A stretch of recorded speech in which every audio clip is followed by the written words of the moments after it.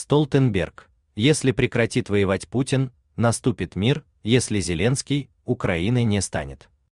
НАТО поддерживает Украину, поскольку победа России сделает мир более опасным. Авторитарные лидеры поймут, что с помощью военной силы они могут добиваться своих целей. Об этом сообщает РБК Украина со ссылкой на интервью генсека НАТО Йонса Столтенберга программе Conflict Zone.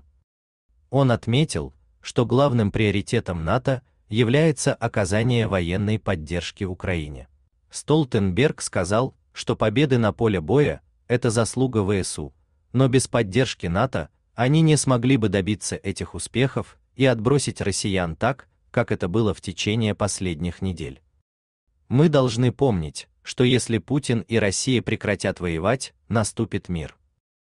Если президент Зеленский и Украина прекратят воевать, Украина перестанет существовать как независимое государство.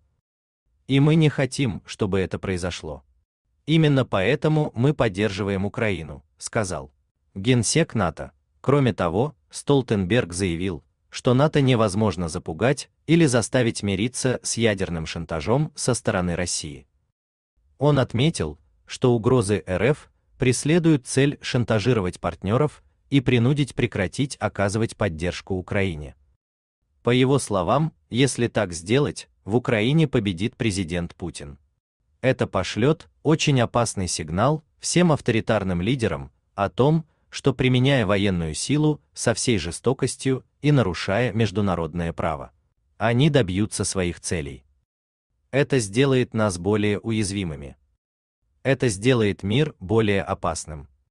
А посему, да, риски есть при всех вариантах в этом конфликте. Но я думаю, что риск позволить президенту Путину победить намного выше, чем продолжать поддерживать Украину, сказал он. Столненберг отметил, что альянс в случае ядерного урада будет реагировать в зависимости от вида атаки, обстоятельств, контекста. По его словам, Россия знает, что это будет иметь серьезные последствия для нее. Напомним, НАТО собиралось передать Украине сотни станций для борьбы с иранскими дронами. Срочные и важные сообщения о войне России против Украины читайте на канале РБК Украина в Телеграм.